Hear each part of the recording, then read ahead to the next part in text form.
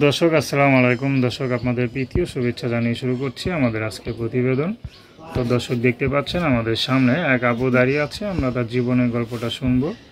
তো জানব আপু কেন আমাদের ইউটিউবের মাঝে আসলেন তিনি কি বলতে চান? আপু আসসালামু আলাইকুম। কেমন আছেন আপনি?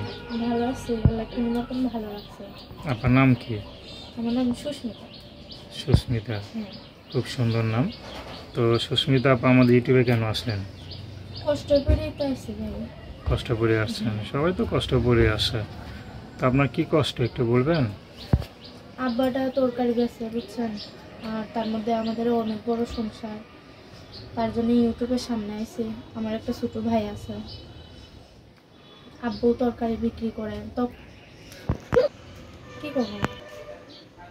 বাবা তরকারি বেছে তো ঠিক মতন সংসারে চালাতে পারে না। তার জন্যই আমি ইউটিউবে বাসাবাড়ি- আসছেন? ইউটিউবে আসছি। আচ্ছা তো আপনি কি করেন? আমি বাসা বাড়ি কাম করি। বাসা বাড়ি কাজ করেন। হ্যাঁ।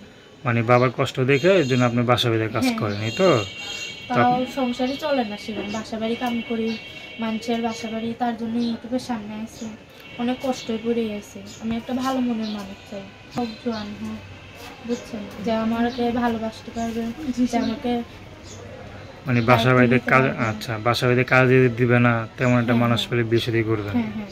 যে আমার পাঁচ অক্ট নামাজ পড়া আচ্ছা। তো সুস্মিতা পড়াশোনা কত দূর করছেন? কোনো মতন করছি। ফাইভ পর্যন্ত করছি। ফাইভ পর্যন্ত করছেন। হ্যাঁ। মানে আর পড়লেন না কেন? আর পড়ি নাই সংসারের অবস্থা তো ভালো না। কেননা আমার আব্বু তো সেরকম সংসারে চালাতে পারে না। তার জন্যই আমি বাসা বাড়ি কাম করি। আর সেরকম চলতেছে না বলেই তো আমি ইউটিউবের সামনে আচ্ছা তো এখন মনে করেন যে আপনাকে সবাই কাজে দিয়ে দিবে না যে আপনাকে বিয়ে করবে পর্দা রাখবে তেমন একটা মানুষ পেলে বিয়ে শাদী করবেন এই তো? হ্যাঁ, হ্যাঁ। আচ্ছা। যদি আমাকে একটা মেশিন কিনে দিতে পারে আমি মেশিনেরও কাজ জানি সেরকম সামর্থ্য নাই বলে আমি মেশিনটা কিনতে পারতেছি না বুঝছেন? কেউ যদি আমাকে একটা মেশিন কিনে দেয়। তার মেশিন কাজ করে আপনি নিজে চলতে পারবেন এই তো? হ্যাঁ। আচ্ছা তো দর্শক, আপনারা তার সাথে যোগাযোগ করতে চান, তার নাম্বারটা zero one eight five four two seven eight zero eight two.